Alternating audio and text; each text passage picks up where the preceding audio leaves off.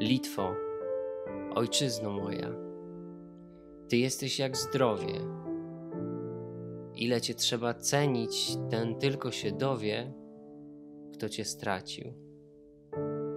Dziś piękność Twą w całej ozdobie widzę i opisuję, bo tęsknię po Tobie. Mało kto nie zna tych słów Adama Mickiewicza. Litwa to kraj spleciony z Polską wieloletnią historią, w stolicy której nadal napotykamy wiele polskich śladów. Jadąc na Litwę koniecznie trzeba odwiedzić Wilno, którego malownicza starówka została wpisana na listę Światowego Dziedzictwa UNESCO. Dzisiejszy film poświęcamy najlepszym atrakcjom turystycznym w stolicy Litwy. Wilno nazywane jest miastem kościołów. Nawet jeśli zazwyczaj nie są na Waszej liście zwiedzania, warto zajrzeć do wileńskich cerkwi. Atmosfera, która w nich panuje, jest owiana tajemnicą i ciężką wonią kadzideł. Warto wziąć udział w jednym nabożeństwie, które jest wręcz transowym doświadczeniem. Jedna z najważniejszych świątyń to Cerkiew Ducha Świętego, główna świątynia prawosławna na Litwie. Ukryta jest w bramie przy ulicy Ostrobramskiej. Imponujące są również budowle kościołu świętej Anny i świętego Kazimierza. Zwiedzanie Wilna warto rozpocząć od Ostrej Bramy. Ta gotycka budowla jest pozostałością po murach obronnych miasta. Brama otwiera przed nami Stare Miasto, a po północnej stronie skrywa kaplicę z obrazem Matki Boskiej Ostrobramskiej. Podążając dalej ulicą Ostrobramską, dojdziemy do placu ratuszowego z ratuszem w stylu klasycystycznym, a następnie do najbardziej znanej ulicy w Wilnie, zamkowej po litewsku Pilies.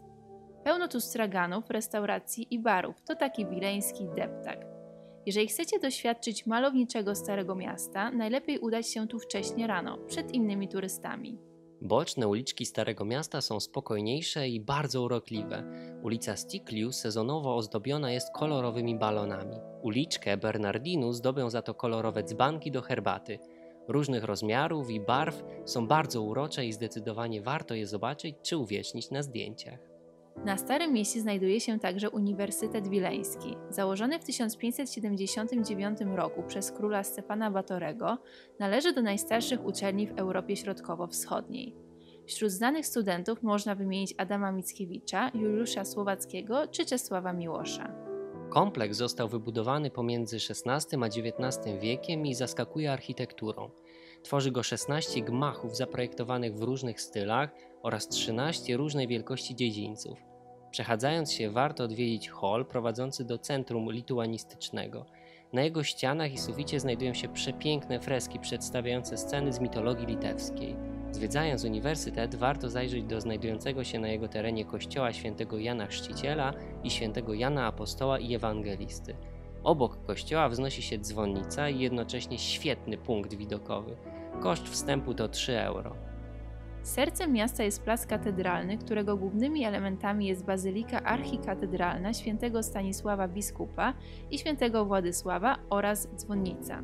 Obecny wygląd bazylika zawdzięcza Wawrzyńcowi Gucewiczowi, który pod koniec XVIII wieku przebudował ją w stylu klasycyzmu. Stojąca tuż obok katedry dzwonnica to dawna baszta przebudowana w 1530 roku, będąca w przyszłości elementem murów obronnych Wilna. Bardzo blisko placu katedralnego znajduje się Muzeum Narodowe Pałacu Wielkich Książąt Litewskich. Można tam obejrzeć dwie stałe ekspozycje odzwierciedlające funkcję historycznej rezydencji. Koszt wstępu to 7 euro. Na szczycie góry Giedymina znajduje się baszta Giedymina, wieża i jednocześnie jedyna pozostałość po zamku. Na górę można wjechać kolejką, by podziwiać panoramę miasta z rzeką Wilią w tle. Koszt wjazdu to 5 euro. Naszym zdaniem jednak najlepszym sposobem na zobaczenie panoramy jest wspięcie się na górę Trzykrzyską. Idealnie będzie to zrobić o zachodzie słońca, wtedy widok na Stare Miasto jest wyjątkowo przepiękny. Cmentarz na Rosie, malowniczo położony na pagórkach, przepełniony jest polską historią i może wprawić we wzruszenie. To tutaj znajduje się mauzoleum Matki Piłsudskiego, u stóp której pochowano jego serce. Ciekawym miejscem w Wilnie jest Zarzecze – to jedna z najstarszych dzielnic Wilna i kiedyś bardzo biedna. Od jakiegoś czasu jednak jest jedną z najbardziej reprezentacyjnych w mieście. To bardzo hipsterska lokalizacja i miejsce spotkań artystów, którzy 1 kwietnia 1997 roku ogłosili tutaj swoją republikę. Republika Zarzecza ma swój hymn, prezydenta, flagę, pocztę, 17-osobową armię i konstytucję. Znajdziecie tu ciekawy street art, inkubator sztuki oraz anioła zarzecza. Jeśli zależy Wam na zwiedzaniu jak najwięcej, warto kupić kartę Vilnius Pass. Dzięki niej będziecie mieć możliwość bezpłatnego zwiedzania muzeów, wycieczek z przewodnikiem, czy zyskania wielu zniżek, np. na wynajem roweru, rejs statkiem, czy do konkretnych restauracji. Dostępne są trzy opcje karty na 24, 48 i 72 godziny. A co warto zobaczyć w okolicach Wilna? Zdecydowanie Troki. Troki leżą na półwyspie otoczonym wodami jezior Galwe, Totoriskiu i jeziora Bernardyńskiego. Miasto słynie z legendarnego zamku na wyspie, który niegdyś był kolebką litewskiej państwowości. Choć istnieją pewne przesłanki archeologiczne, wedle których dzieje Trok sięgają czasów prehistorycznych, to początki miasta należy łączyć z osobą księcia Giedymina. Legenda mówi, że ten jeden z najwybitniejszych władców litewskich przybył w to miejsce podczas polowania i wybrał je na swoją nową siedzibę. Koszt wstępu to 8 euro. Troki są ulubionym miejscem wypoczynku Wilian i najczęściej odwiedzaną atrakcją turystyczną na Litwie. Nic dziwnego.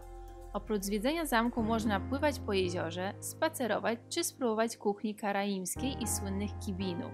Coraz popularniejsze stają się także loty balonem. Zachód słońca, jeziora i zamek na horyzoncie to naprawdę bajkowy obraz.